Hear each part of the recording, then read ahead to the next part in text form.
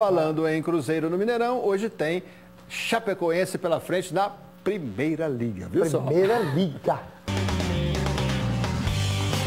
Um confronto equilibradíssimo, mas não é nesse futebol aí não. Nele, Rafinha e Robinho dominaram geral. Não teve para ninguém. O equilíbrio está na disputa entre Cruzeiro e Chapecoense. Desde 2012, as duas equipes se enfrentaram seis vezes, com duas vitórias, dois empates e duas derrotas. Para mudar isso, mesmo com o apelo emocional da partida, já que esse será o primeiro jogo oficial da Chape fora de Santa Catarina desde a tragédia, o torcedor celeste vai preparar homenagem, mas quer ver um time forte em campo, como esse daí, ó, do futebol.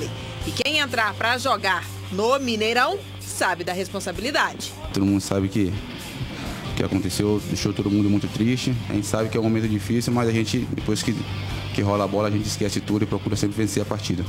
Vencer esse confronto? Não, não do futebol, mas o equilibrado entre Cruzeiro e Chape, além de deixar o time de mano na liderança da Primeira Liga, dá ainda uma moral e tanto para as outras competições. E a gente vem nessa, nessa batida aí, trabalhando forte, na pré-temporada, todo mundo trabalhando, se dedicando, né, procurando, é, procurando é, buscar o seu espaço. Então a gente fica feliz e todo mundo que tem essa oportunidade de entrar ainda procura fazer o seu melhor. Então isso é muito importante para deixar o grupo mais qualificado, muito mais forte ainda para a gente disputar essas competições.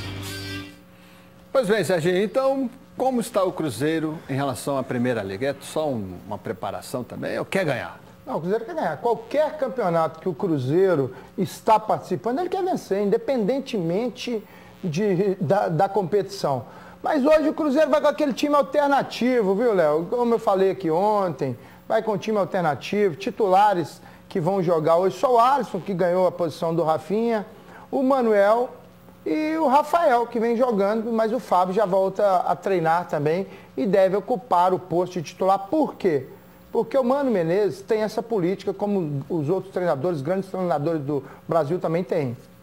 Ele saiu por contusão não por problemas técnicos. Então o Fábio deve voltar. Aí eu pergunto aí para a torcida celeste, né? Hum. Você, torcida celeste, prefere o Fábio ou o Rafael hoje? O Fábio é nosso ídolo, mais, foi o que mais vestiu a camisa. Né, Léo? Até aí para a gente fazer uma enquete depois nisso aí, né? É, mas aí no caso, hoje. Depois. Já passou, né? É, depois. Tá, não não, podemos não fazer amanhã? Bom, podemos fazer aqui. No, aqui agora. Vai mandando é... é, é, opiniões pelo Twitter, né? onde há muita participação. Tá vendo? O Cristian Araújo tem informação de montão aqui no Transporte. Daqui a pouquinho vamos falar do Lucas Prato, que o Fael está apurando ali durante o programa.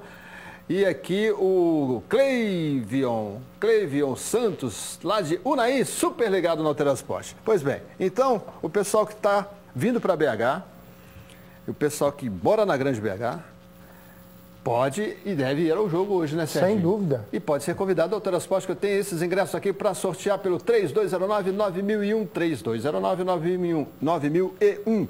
Serginho, tá confiante nesse jogo com a Chapecoense? Muito, Léo.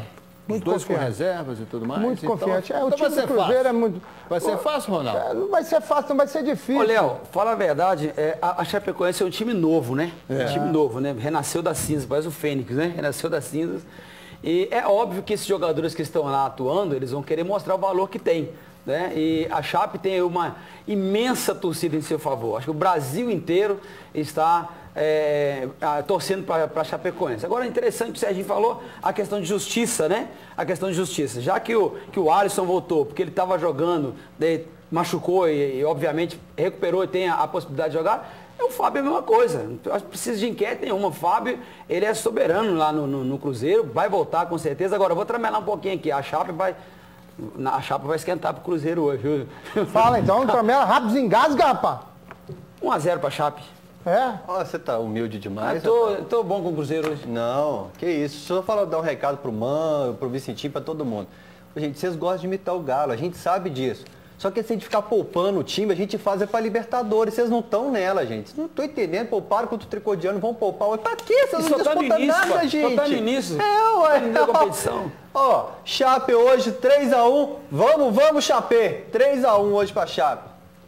Pro lado de cá. Vem para o lado que interessa, o lado azul da bancada, o, o lado que sabe das coisas.